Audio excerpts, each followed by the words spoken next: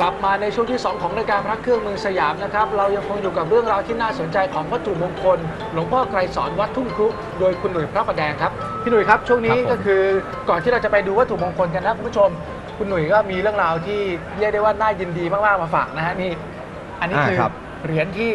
เหรียญอืมอ่าเลื่อนสมณศักดิ์ ครับผมฉลองสมณศักดิ์ของพระครูโอภาสจริยานุวัฒน์นะครัครับสร้างออกปีไหนยังไงฮะ ปี 59 ครับปีนี้เลยครับนะครับเมื่อตผอนมต้นปีครับ ที่เราดูกันไปช่วงที่แล้วใช่นะฮะอันนี้เป็นเนื้ออะไรฮะเป็นอันนี้เป็นเนื้อทองแดงครับครับนี่กล่องก็จะเป็นอย่างนี้นะฮะครับ ผมมีรูปท่านพระครูอยู่มีรูปท่านพระครูนะครับอยู่แล้วก็เขียนว่างานฉลองสมณศักดิ์พระครูโอภาสจริยานุวัฒน์นะครับแล้วก็มาดูเหรียญด้านในกัน อันนี้เป็นเนื้อเนื้อทองแดงเนื้คอรับทองแดงนะครับจำนวนสร้างครับ1,599เหทำไมรียญสร้างน้อยจังอะ เราไม่อยากให้ให้ให้เยอะมากครับ นะครับ ก็คือแค่แค่แจก ใช่ครับ คืออาจารย์เองบอกว่าไม่อยากให้สิ้นเปลืองครับผมอาอาจารย์เองก็ไม่ได้ไม่ไม่ไม่ได้เป็นคนอยากจะสร้างครับคือลูกเหล่าลูกศิษย์หพยายามร่วมกันสเป็นร้างเป็นผมเข้าใจเป็นวาระโอกาสที่ดีไงใช่ครับ นะฮะก็สร้างไว้เป็นที่ระลึกสักครับหน่อยผมนึงนะครับ นี่ จะสังเกตหน้าหนาหน่อยหนาหนาครับนะครับ เหรีแล้ยวญก็จะหนาผิวก็จะมีมีเส้นเส้นสายเสี้ยฝนนสายฝน อ่าวิ่งตลอดครับนะผม วิ่งขยงลงมาทางด้านนี้นะครับ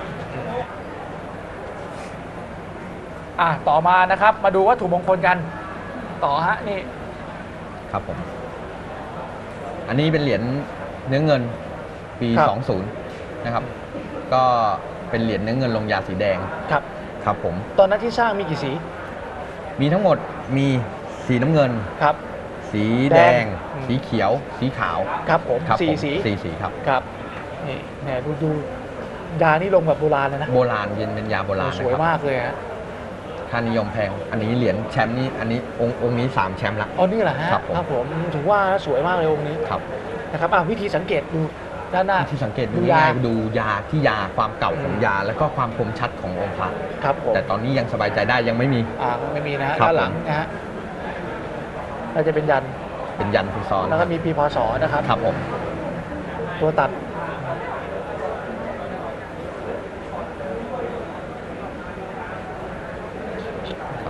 สวยจริงๆนะฮะ ครับเหรียญรุ่นนี้ก็จะมีมีเนื้อเงินครับเป็นหนึ่งชุดเนื้อเงินนะฮะครับ ซึ่งหายาก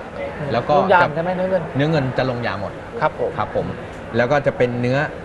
ทองแดงกระไหล่ทอง ครับผมเนื้อทองแดงธรรมดา ครับแล้วก็เป็นเนื้อทองอ่าทองแดงกระไหล่ทองลงยา อ๋อครับผม คือลงยาเนี่ยมีแค่สองเนื้อ ครับผมคือทองแดงกับไหลทอง ครับกัผมเนื้อเงิน กับเนื้อเงิน ครับผมครับ ที่เหลือไม่ได้ลงยา ที่เหลือไม่ได้ลงหลังยาก็จะเป็นหลังธรรมดาเรียบๆไป อ่าเหมือนกันครับ ครับ ต่อมาครับเนี่ยฮะครับ องค์นี้เป็นองค์องค์สุดยอดของของของวัดทุ่งคูเลย ทำไมฮะก็คือเป็นรุ่นที่มีประสบการณ์มากที่สุด ครับ ด้านเกี่ยวกับความเหนียวเหนียวเรื่องเหนียวเอาว่าง่ายๆว่าเหมีนียวมีเลเรื่อยงเล่าไหมสักเรื่องหนึ่งก็งานปีเมื่อประมาณเมื่อสองปีที่แล้วมันครับ ก็ยิงก็กันคือนะปี ครับ57 ครับประมาณประมาณ2ปีนะประมาณอ่าปีห้าเจ็ดครับ เด็กวัยรุ่นก็ มาเที่ยวมางานอะไรกันครับ ยิงกันยิงไม่คอมเมนต์กันแล้วก็ยิงครับ ยิงออกไหมไม่ออกครับอ๋อคือยิงไม่ออคกนห้อยเนี่ยห้อยห้อยรุ่นนี้อนี่ยู่ครับ รุ่นนี้นะฮะองค์เดียวทนทนอ๋อครับผมอะรุ่นนี้คือคือรุ่นพันล่วงลางปืนปี16ครับครับผม ตอนนั้นออกในวาระโอกาสอะไรฮะอ่าภูพัฒสีมาครับครับภูพัฒสีจำนวนมาการสปีร้างเยอะไหม16จำนวนการสร้างอยู่ประมาณพันนิดโอ้ไม่เยอะนะๆคน้รัอยผมมากเลยฮะน้อยมากแล้วก็คือที่ออกมาเนี่ยออกมาพันกว่าองค์ ตอนนี้อยู่ในกู่กู่ของวิหารนะฮะครับอยู่ในผมกู่ประมาณเกือบ500 องค์แล้วอะคอ๋รัอบก็เท่ากับครึ่หงมุนหนึ่งเวียนก็อยู่ข้างนอกประมาณหลักน้ร้ออยยมาก ครับผมครับ แล้วเนื้อหาการสร้างเป็นไง เนื้อเดียว เนื้อเดียวแบบนี้แบบเดีแบยวบเลย นี้แบบเดียวเลยครับ ครับ เป็นเนื้อทองแดงลมดำทีนี้ค่านิยมก็พุ่งเลยเนี่ยก็อยู่ประมาณเกือบเกือบหมื่นแล้วครับ ครับผม คือเนื่องจากว่าจำนวนการสร้างน้อยด้วย น้อยด้วยครับ แล้วบวกครับกับประสบการณ์อ่าที่เมื่อกี้ผมเล่าให้คุณใช่เนฟฟังว่า อ่า พระตกจาก อ๋อเอาที่ราท่านคาที่ที่ท่านก็ชอบหลังเนี่ยแหละครับก็เก็บโอ้เนี่ยแหละเรียบองค์เนี้ยแหละครับอ่าอีอีกองค์กำลังทำวัดอยู่ก็อืมโดนในใบหินเจีย อืม เข้าก็ไม่เป็นไรสบงครับผม สบงขาดแต่ว่าไม่เข้าเนื้อ ไม่เข้าเนื้อครับ ก็ครับ เป็นยางหมากธรรมดาพกองค์เดียวซึ่ปกห้อติยองค์เดียว ซึ่งปกติไอ้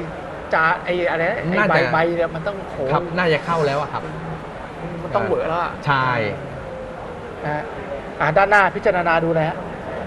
ความคมชัด ความคมชัดเป็ครันบหลัก แล้วส่วนใหญ่ด้านหน้าผมเนี่คยมมากเลยนะ มองอะที่ผิวพระเนี่ยจะเป็นกระแจะครับคืผมอ่า คือมองเหมือนเป็นเส้นๆแบครับบครับเป็นครับลายเป็นจำจำจำจำจำอะครับใช่ครับ ผม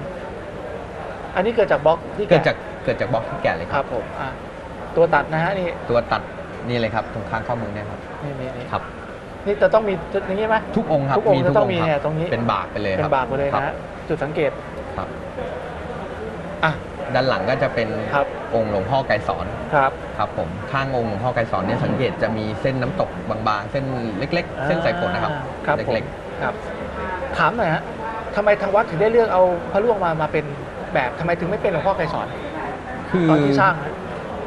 เหมือนสมัยก่อนเขาฮะเขาเขาพโรระงร่วงงานเขามานำเสนออ๋อเนาะพระล่วงหลังล่างปืน ครับผมครับนำก็เสนอก็เป็นแบบพุทธศิลปะแบบใช่นี้ทางวัดก็มองเห็นเออ ก็สวยงามดีอ่า ด้านหลังก็เอาจะทำเป็นยังไงหลวงพ่อไกรสอนไว้ตรงนี้อ่าเราก็เอาองค์หลวงพ่อไกรสอนประดิคืษอฐานพอพูดถึงไว้ถ้าเป็นถ้าเป็นพระล่วงถ้าเป็นพระรางปืนก็ต้องพระร่วงนะใช่ครับ ครับผมมีต่อโค้ดมีอะไรไหมไม่มีครับไม่มีครับ ต่อมาครับนี่ฮะครับอันอ่าวันนี้เป็นเหรียญรุ่นแรกของอาจารย์ฟื้นวัดทุ่งคุครับ ถ้าเป็นใครฮะเป็นอดีตเจ้าวาดครับ ครับผม ครับผมก็องค์ที่เป็นองค์ที่สร้าง พระร่วงหลังล่างปืนครับครับแต่นี้ผมอันนี้เป็นเหรียญรุ่นแรกครับสร้างประมาณอาจารย์ฟื้นปีนะฮะ2511 ครับครับผมจำนวนสร้างก็น่าจะอยู่ประมาณ ไม่เกินพันองค์น้อยมาก น้อยมากครับ คือข้อสังเกตเนี่ยวัดวัดทุ่งกุ้งคือจะสร้างวัตถุมงคลไม่เยอะไม่ค่อยเยอะครับครับ คือเอาแค่คนในพื้นที่รู้ก็บูชากันหมดแล้วใช่ใช่ครับนะฮะแม้แต่กระทั่งปัจจุบันเนี้ยก็ยังสร้างไม่เยอะนะรุ่นที่ฉลองธรรมนศักดิ์ละใช่ครับนะฮะครับผมเน้นเน้นไม่ไม่เราไม่ได้เน้นปริมาณนะครับ ครับนี่ มีต่อโค้ดมีอะไรไหมฮะไม่มีครับ ครับ มีตัวตัดแล้วก็มีเนื้อเดียว ครับเป็นเนื้อทองแดงลมดแบบนี้ำครับนะผฮะม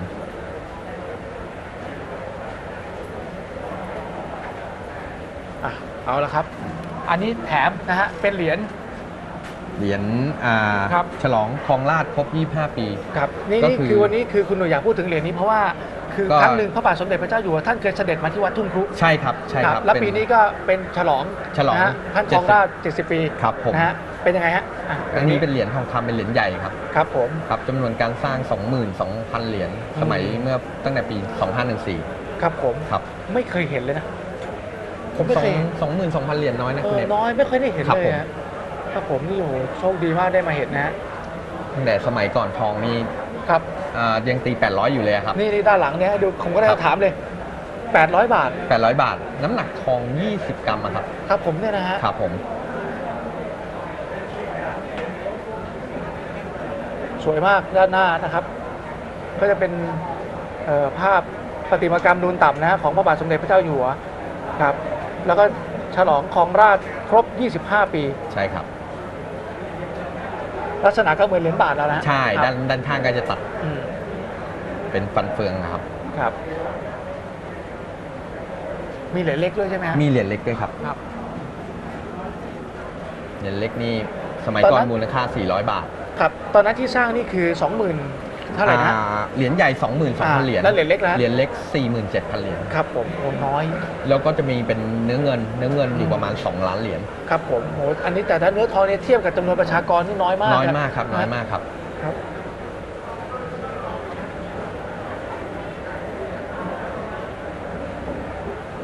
มีลักษณะเหมือนกันครับ แค่ขนาดที่เล็กต่าลงงมา ต่างกันแค่ขนาดครับที่เล็กลงมาครับนะเอาเอาเอาละครับมาที่เรื่องราวของหลวงพ่อไกรสอนถามคุณผู้ชมสนใจ อยากจะไปกราบไหว้ที่วัดเดินทางยังไงฮะก็เดินทางจากอะขึ้นขึ้นทางด่วนมาแล้วไงต่ออ้าวลงทางด่วนที่สุขสกิวัโลสดิ์เก้าสุขสวัสดิ์เลยคครัรับบผมคือข้ามสะพานพระรามเก้ามาแล้วเบี่ยงซ้ายมาเลย เบี่ยงซ้ายกลับครับรผถมครับ แล้วไปเลี้ยวเข้าถนนประชาธิป ครับผมอ่าครับก็วิ่งถนนประชาธิปยาวเลยครับครับไปชนสามแยกถูกไหมชนสามแยกตรงแถวเทคโนอะครับผม ครับเลี้ยวซ้ายเลี้ยวซ้าย ก็วิ่งยาวไปเลย ก็เจอวัดอยู่ประมาณ 4 กิโลก็จะถึงวัดแล้วครับครับผมส่วนใหญ่คนไปขอเรื่องอะไรครับ ขอทุกเรื่องนะบางคนเนี่ยยิ่งช่วงหวยออกนี่หวยอ๋อ เยอะ หรือว่าขอเกี่ยวกับเรื่องทำมาค้าขายเรื่องทำมาค้าขายก็ขอดี ลูกขออะไรได้หมดขทุอกเรื่องลูกได้หมดทุกก็เรื่องคือถ้าเป็นคพรับระพุทธรูปเนี่ยครับเราจะขอใช่ กันเกี่ยวกับทุกเรื่องแหละครับผมนะแล้วเวลาไปแก้เวลาไปขอบคุณท่านนะอะหรือง่ายๆแก้บนเนี่ยท่าแก้บนก็ส่วนใหญ่ก็จะเป็นมีไหมนิยปมระไหมทับไข่ต้มอ๋อประมาณนี้คล้ายๆหลวงพ่อโสธรคล้ายๆกันฮะก็เป็นส่วใหญ่ไข่ต้มใช่ครับนะฮะก็ถือได้ว่าเป็นเรื่องราวของพระพุทธรูปที่อยู่คู่บ้านคู่เมืองนะฮะแล้วก็อยู่คู่วัดทุ่งคู่มาแบบเป็นเวลายาวนานแล้วครับผมเป็นนะครัร้อยปีผมแล้วคเชื่รัอบว่าคนทุกคู่เกิดมาก็ รู้จักแล้วครับ รู้จักแล้วนะฮะแล้วก็ไปกราบไหว้ขอพรกันคุณผู้ชมนะที่อยู่ในพื้นที่ใกล้เคียงครับหรืออยู่ที่ไหนก็ตามแต่ก็ไปกราบไหว้ขอพรท่านได้นะฮะเป็นพระพุทธรูปที่มีศิลปะที่งดงามครับผมทีเดียวนะครับ วันนี้ขอบคุณคุณหนุ่ยมากๆครับครับผม ที่มาแนะนำเรื่องราวของหลวงพ่อไกรสอนให้คุณผู้ชมได้รู้จักกันขอบคุณได้ครับ ครับ คุณผู้ชมครับ ช่วงหน้ากลับมาติดตามชมกันต่อนะครับ ในรายการพระเครื่องเมืองสยามในช่วงเยี่ยมชมชมรมพระพักสักครู่ครับ